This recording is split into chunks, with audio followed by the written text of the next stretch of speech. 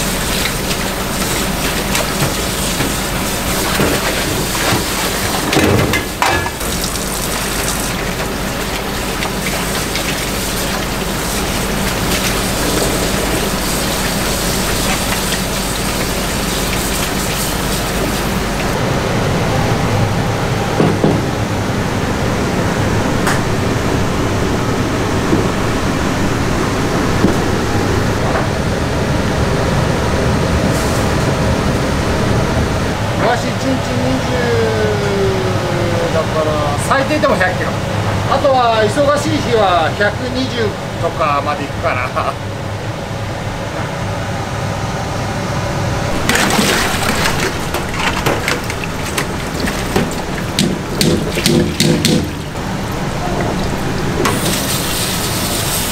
もやしを茹でて冷まして茹でて冷まして茹でて冷まして12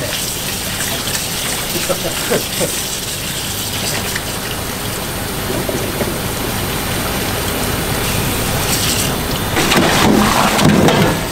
もやしって結構、あのー悪くなるのが早いんで茹でた後にちゃんとなるべく早く冷やしてちゃんとした温度管理のもとで保存しとかないと酸っぱくなっちゃうんですよ。酸っぱいもやしラーメンと一緒に食べたくないでしょ。やっぱ切りたてのところかこの野菜の中に含まれる水分がダメになっちゃうからだから業者から取ってるもやしとかネギとかだと脱水されてるんですよ。だからなんかみずみずしさと香りがないというか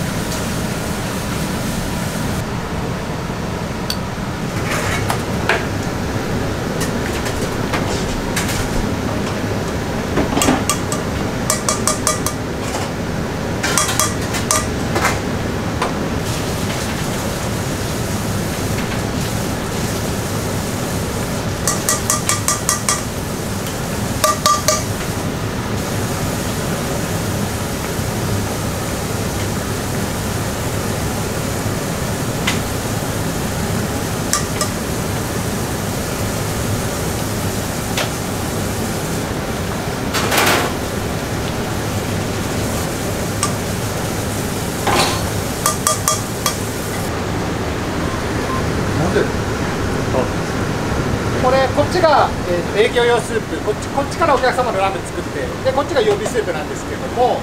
えーと、濃度の調節とあとこっちの方がちょっと熟成させてるイメージなんですね。だ、えーと、わざと悪くしてそこに新しいものを入れてで悪いところからいい状態に戻した時が一番美味しいと自分は思うんででその状態をこう1日の中でこの一番ダメな状態一番いい状態。このダメな状態っていうのはこれより下に行ったらお客様に出すべき、えー、レベルじゃないっていう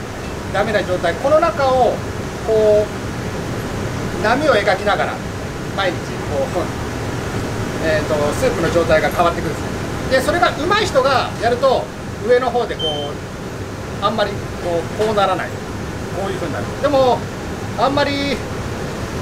まだレベルの低い人がいるとこう大波になっちゃう。でもこの大波でももちろん上の時は美味しいし下の時はあれだしそれもお店によって自分は味があると思っててただ最近言われてるのが、えーと、ラーメンを食べに来るお客の気持ちも考えろと。でわざわざ来る時にこのブレがあって当たり前っていう考え方はどうなんだっていう意見も結構あるじゃないですか。でも自分はやっぱりえーと、お店で炊いてるっていうのは姿形が同じ骨骨であっても中身が分かんない。です入れてみないと分かんない。入れてみないとあ例えば水にしても雨の日の次の日の水はちょっと違ったりとか夏の水違ったり冬の水違ったり。そう。で外の温度が高い低いまあこれも夏は高いし冬は低いじゃないですか。それによって火の強さもちょっと変わったりとかいろんな要因があるからなるべくこの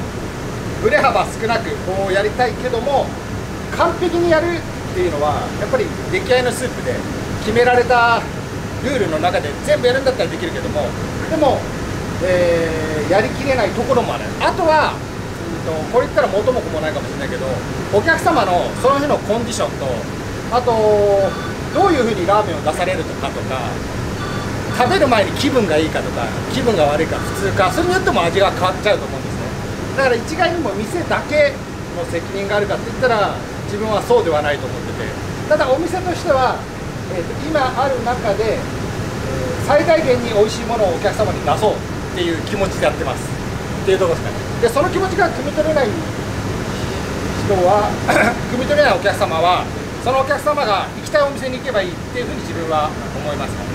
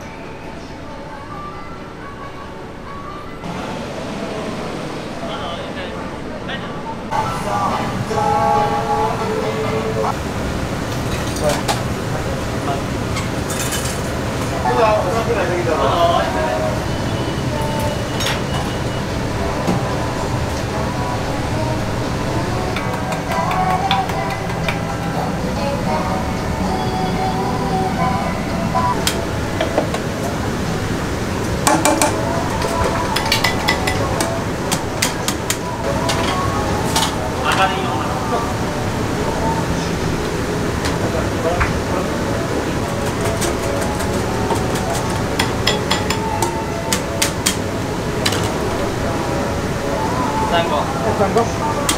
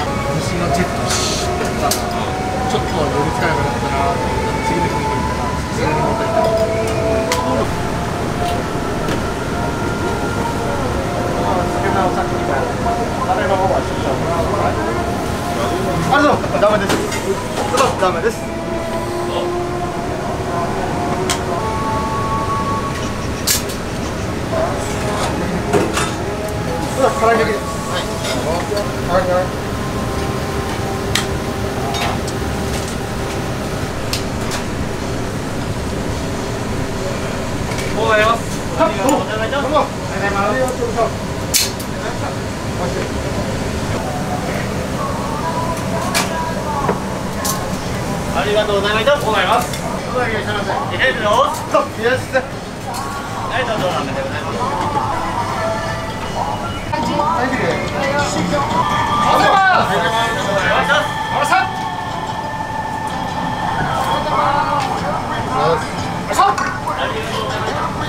りがとうございます。あん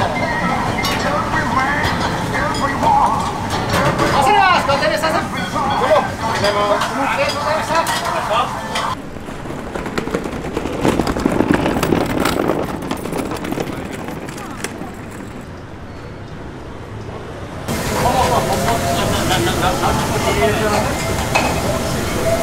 で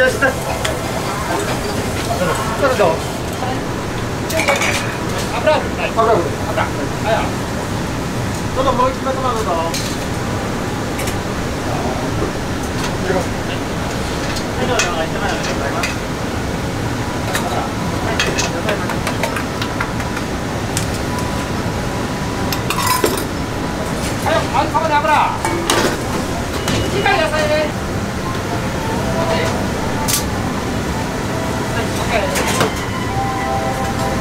あどうぞ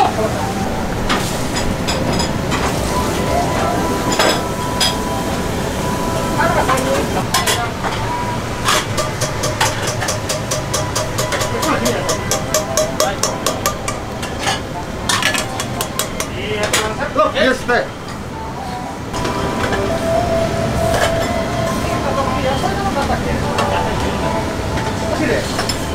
野菜になしはい野菜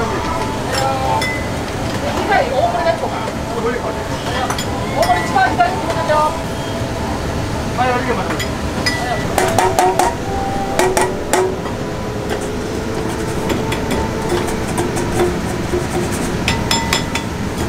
白いらっしゃいませございますあそれますどうもさありがとうございますさあ終わった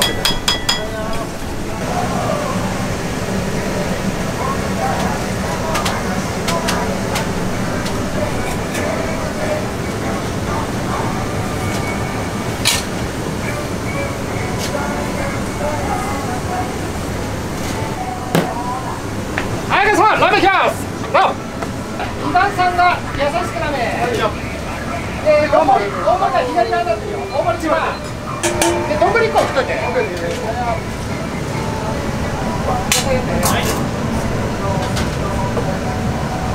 はい、優しくラーメンいきます。どう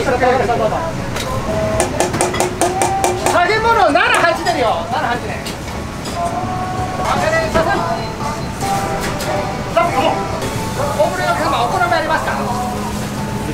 固めで野菜野菜少し増してで野菜ちょかしわかりました。今回麺型できよじゃあこちらどうぞおお好きなおろしてくださいはいお願いします。ございます。ありがとう。ございますじゃあ今日野菜で野菜はいよ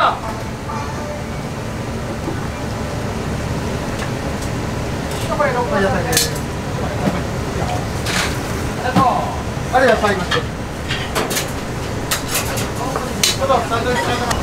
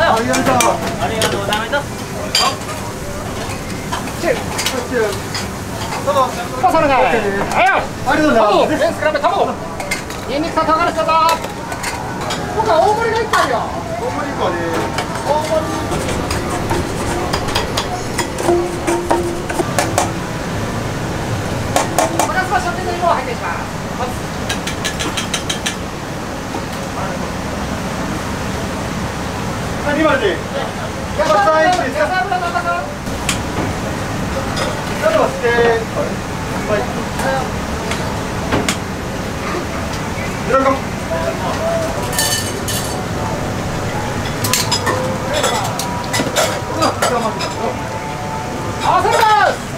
今開け